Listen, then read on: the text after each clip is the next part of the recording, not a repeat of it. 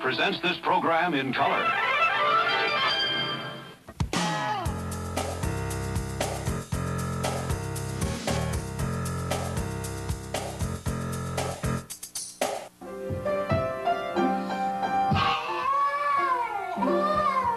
This is a wonderful story about a group of children that all the experts had given up on.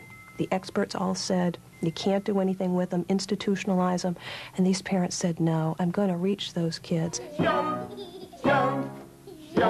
They've hooked up with a clinic that uses music and an awful lot of love to reach these children. I mean, it's just an amazing story.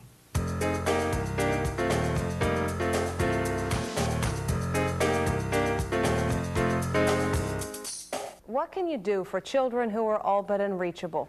Those kids who are locked in a world of their own? Children the experts have given up on. Well, for the children you're about to meet, their world was unlocked with a combination of love and hope and music. And for their parents, the result was something that sounded and looked like a miracle. Hiya, Marisa. Good morning, Marisa. Good morning. How's big girl? You hear the music, Marisa?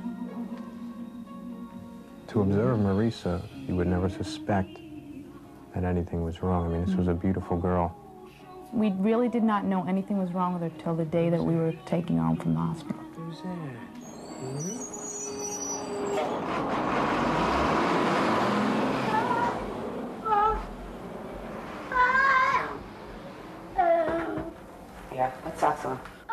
I mean, with the tantrums, all the other things, this is a great little guy. There's one world for us Because you're not taking the time. and another for children like Marisa and Joshua. Joshua is 11 years old and lives in New York's rugged South Bronx with his mother, Robin Shaw. He was born two and a half months premature, blind, and autistic. How much did he weigh when he was born? One pound and 12 ounces. Whoa, he was very early. Because you knew this was too soon to have a baby. It's not ready yet. He's not, this baby's not ready yet. Reach! Oh, you can do it. Five year old Marisa lives in a quiet New Jersey suburb with her parents, Linda and Gary Thomas. Hold on. Do they know what caused Marisa's problems? Basically, it was bad luck. Just bad luck. Did the doctors give you any prognosis in that first day or two? Well, basically, they said that you shouldn't expect much. You shouldn't expect her to walk, talk, sit up, know you're her parent. Or parents, C. or see. I just had a feeling that there was someone in there and that she is intelligent. Monkey?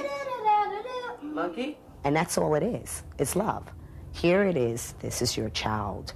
I don't care if he doesn't see. I don't care if you don't understand his speech. He is my child. I love him, and he is a gift from God. I know what you want. I know what you want. I know what you want. Josh and Marisa were written off as hopeless, but their parents refused to believe that. They were determined to reach the lonely world where their children were imprisoned. And they found the key here at the Nordoff Robbins Music Clinic, where the door was unlocked using the power of music.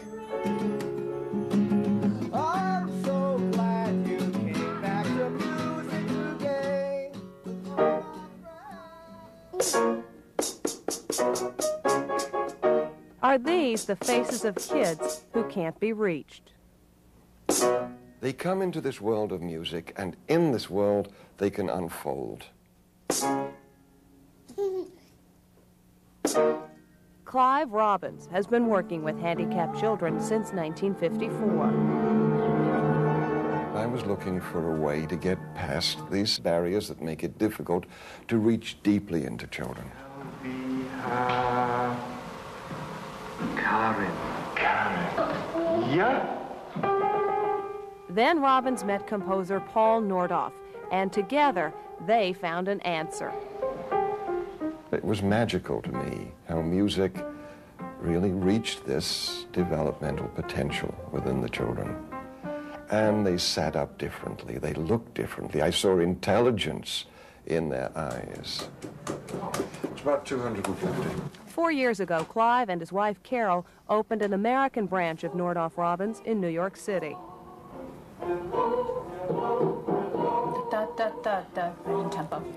We asked the mother of a multiply handicapped teenager once, What do you want music therapy to do for your child, for your son? She said, Just bring him joy. He has so little of it in his life.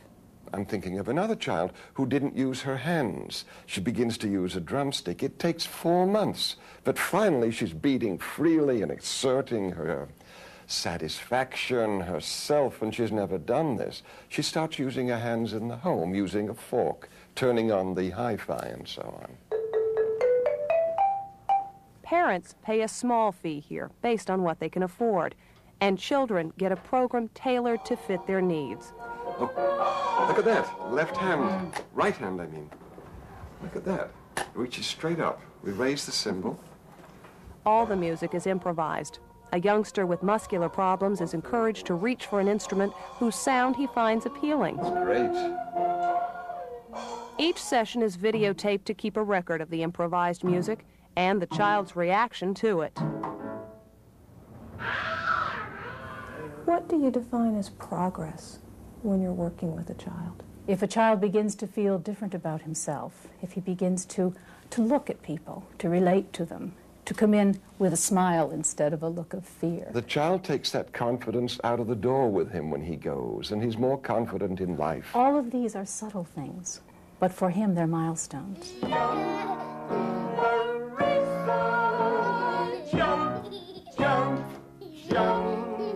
For a child like Marisa, a tiny step can be a giant leap. She's neurologically impaired. She's spastic in all of her limbs. She is blind. She's also intelligent. She's perceptive. She has a sense of humor. And she loves music, something Linda and Gary Thomas already knew.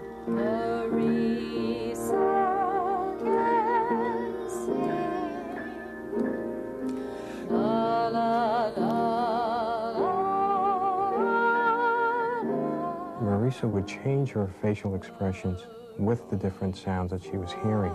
And that's really where we thought that we had a way of communicating to this girl. Marisa, for her first year, cried a great deal.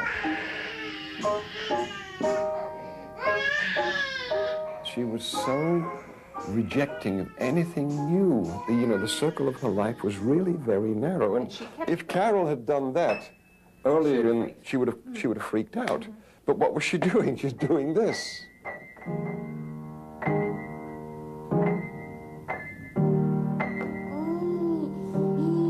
Good girl.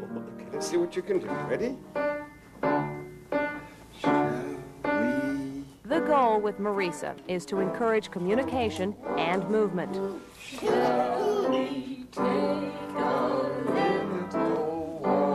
It took